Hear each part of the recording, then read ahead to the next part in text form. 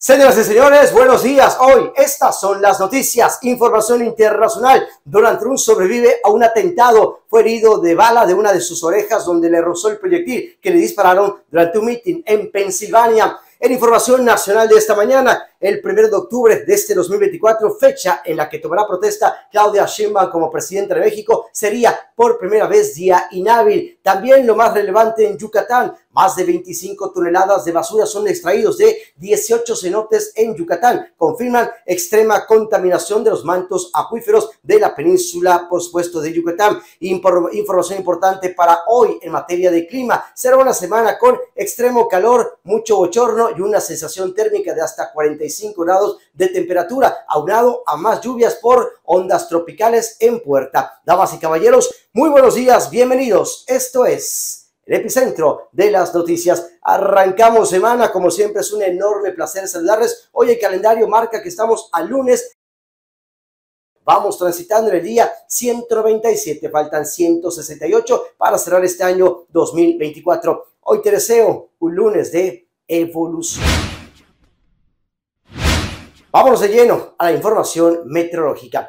Iniciamos una semana con extremo calor, mucho bochorno, sensación térmica de hasta 45 grados de temperatura y más lluvias por ondas tropicales. Vamos por partes. El Servicio Meteorológico Nacional nos advierte esta mañana que estamos iniciando una semana con la llegada de una nueva onda tropical que estaría ingresando a Yucatán mañana martes. Se trata de la onda tropical número 11 según el reporte del Servicio Meteorológico Nacional. Mientras tanto, la imagen satelital de esta mañana de lunes me muestra al occidente de la península de Yucatán la onda tropical número 10 que ayer ingresó finalmente a Yucatán y continuará esta misma semana generando algunas lluvias, descargas eléctricas, pero de forma aislada para el sureste mexicano. También el boletín meteorológico de esta mañana de lunes nos indica que a media semana seguiremos, por supuesto, con estas lluvias, con el ingreso finalmente en las próximas 24 horas de una nueva onda tropical que está avanzando finalmente esta mañana al occidente. Sin embargo, no se descarta que sea una semana con temperaturas muy, muy calurosas que en conjunto con esta humedad por las lluvias que se han presentado, bueno, pues estará desatando extremo bochorno, una sensación térmica de hasta 45 grados de temperatura. Así que mantengamos el paraguas en la mano y por supuesto el calor seguirá reinando. Hablamos un poco de política. Luisa María, alcalde de Luján, actual secretaria de Gobernación, es la única, hasta el día de hoy, la única persona que ha levantado la mano, ha mostrado su interés en dirigir al partido Morena en la próxima, eh, vaya, jornada de elección. Esto informó Mario Delgado Carrillo, líder nacional del partido Guinda. Mario Delgado, presidente actual del partido Morena y próximo titular de la Secretaría de Educación Pública, ha confirmado que Luisa María, alcalde de Luján, no necesita finalmente ni siquiera el aval del jefe del Ejecutivo Federal, sino del pueblo para ocupar la presidencia del partido político. Además, se descartó que el proceso de sucesión de la dirigencia de este partido, el Partido Morena, vaya eh, a producir una fractura interna, sino al contrario, dicen, vamos a salir muy unidos, puntualizó Mario Delgado. Vamos a la información internacional. El expresidente de los Estados Unidos, Donald Trump, sobrevive a un intento de homicidio del que solo sufrió un roce en su oreja derecha y fue evacuado de emergencia tras escucharse múltiples disparos en un mitin celebrado en Pensilvania. Y esto ocurrió este fin de semana, por supuesto, fue tema de tendencia en las redes sociales. El disturbio provocó una respuesta inmediata del servicio secreto que rápidamente rodeó al expresidente de los Estados Unidos y lo sacó apresuradamente de este escenario público. Mientras era escoltado, se podía observar sangre en su rostro, lo que añadió una mayor preocupación a esta situación, pues puesto de extrema, eh, vaya, situación delicada. Las imágenes del evento mostraron al candidato presidencial republicano levantando el puño mientras era escoltado por el servicio secreto de los Estados Unidos. Insisto, momentos muy difíciles los que se vivieron este fin de semana. De hecho, el presidente de los Estados Unidos, John Biden, que enfrenta a Donald Trump en la contienda presidencial, fue informado sobre este atentado y habló con el Donald Trump varias horas después de este incidente, de acuerdo a reportes confirmados por la Casa Blanca.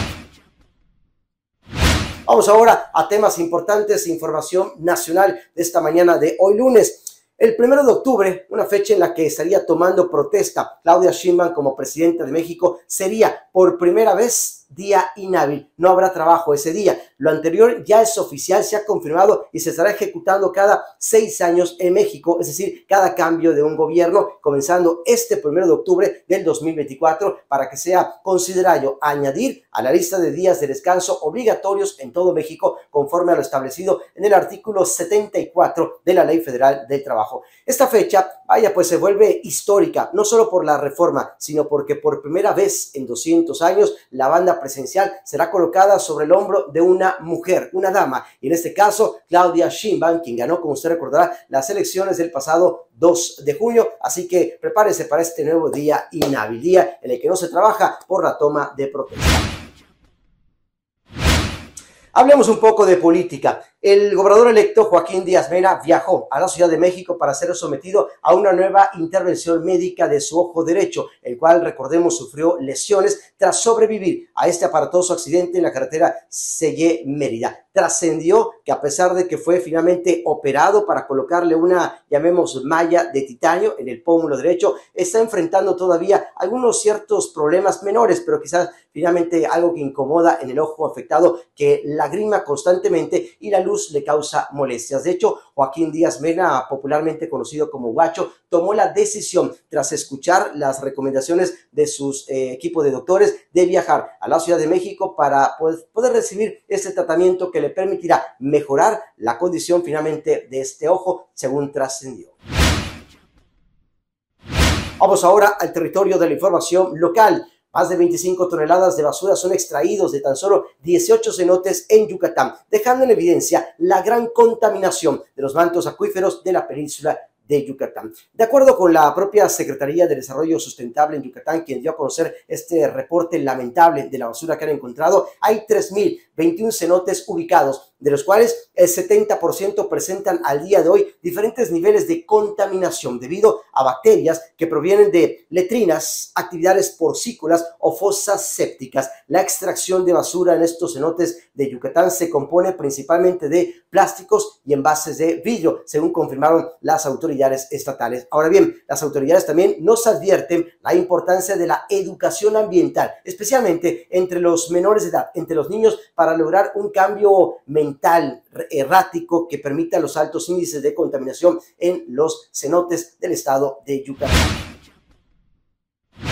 Damas y caballeros, esas serían las noticias más importantes de esta mañana para iniciar la jornada bien informados. Y el decreto de hoy lunes, haz lo que puedas, donde estés, con lo que tienes y no te preocupes por el resto. Soy Antonio García y como cada mañana, gracias por la enorme oportunidad de saludarles, informarles y lo más importante de siempre, mantener abierta esta línea de comunicación a través de las redes sociales. Arrancamos semana, lunes, ánimo, muy buenos días.